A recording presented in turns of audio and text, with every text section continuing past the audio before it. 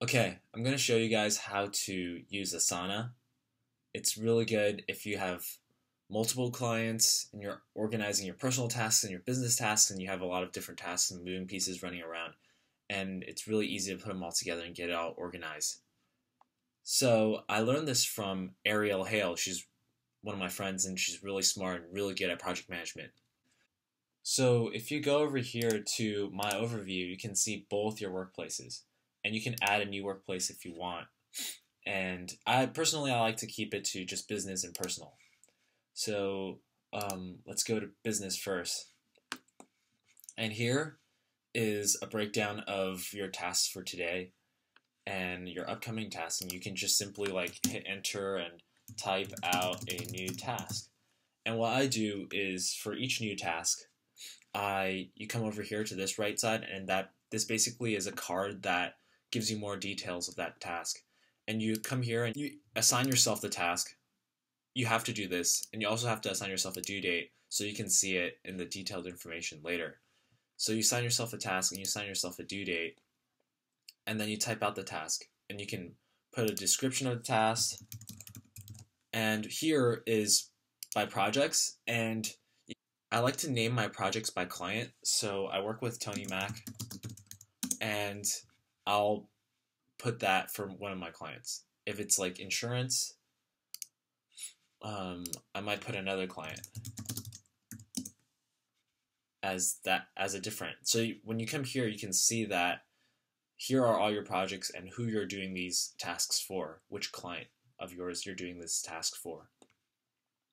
Okay, what's also really neat is when you come here to date due, you can set reoccurring you can set reoccurring tasks.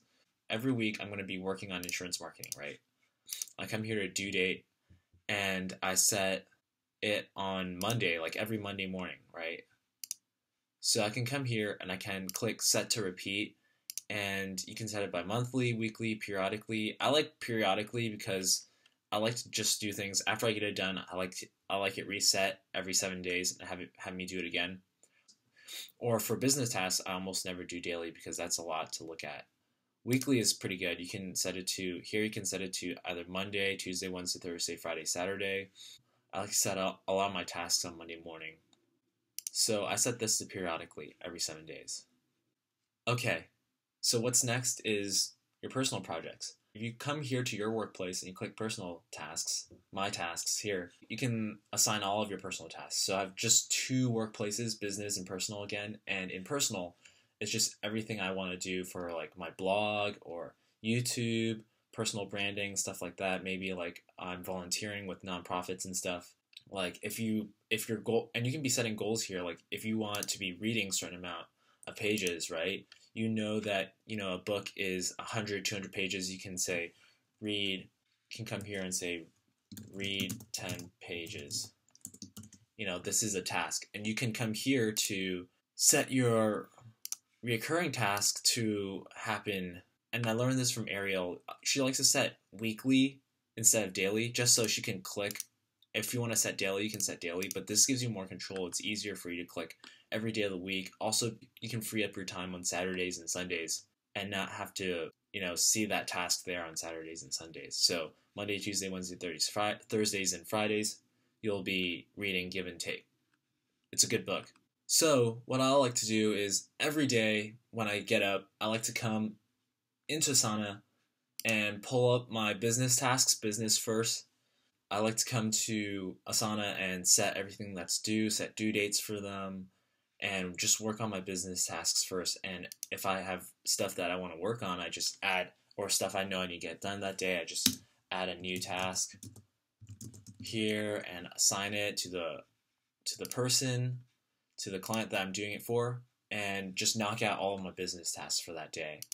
And it's really cool. Just you know, Asana also has this thing where it tracks, kind of tracks your completion. So as you mark complete, you know, you get a little bit of info on how you're completing things.